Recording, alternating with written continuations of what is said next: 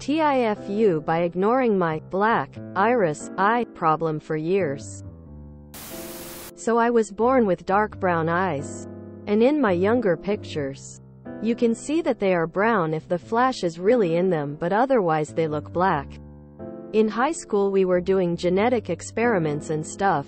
Don't remember the specifics. But part of it included taking up close pictures of our eyes with flashlight on.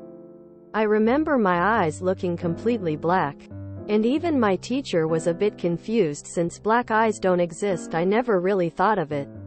Again after that, why didn't I ever think to get it looked at? I even have really bad symptoms and stuff and still ignored it. Anyway, fast forward to now and I'm studying abroad and I get an eye test here since I can't afford to get them in the US.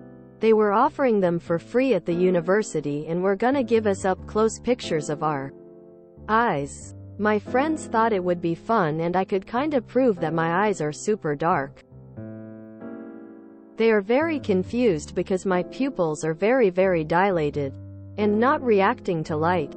There's a thin outer layer of dark dark brown so that's how they know.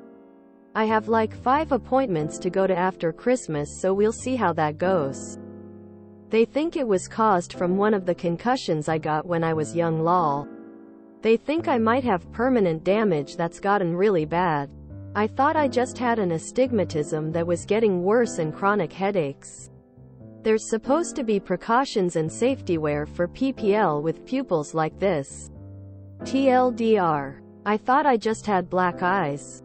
But my pupils are actually likely permanently blown likely from childhood head trauma. I assume one of those appointments are an MRI. Get to an ophthalmologist or a neurologist ASAP. Don't forget to post an update we hear like those. Also that's rather sad that you couldn't afford to get an eye exam before. This isn't your FU. This is your parents. Regular eye exams are part of normal medical care. Not to mention well child checkups with a pediatrician. Your parents failed to provide you with basic care here. Op. There is a British comedian called David Mitchell who has something very similar. It's called aniridia. Basically his irises never developed properly. If that turns out to be what you have it is a fault in a specific gene that caused it and it occurs in 1 in 50,000 to 100,000 newborns. Genetic diseases of the eye interest me as I also have one. A fault in the EFEMP1 gene called Doyne honeycomb retinal dystrophy. There's less than 2,000 known sufferers. You've been walking around looking like a horror movie this entire time.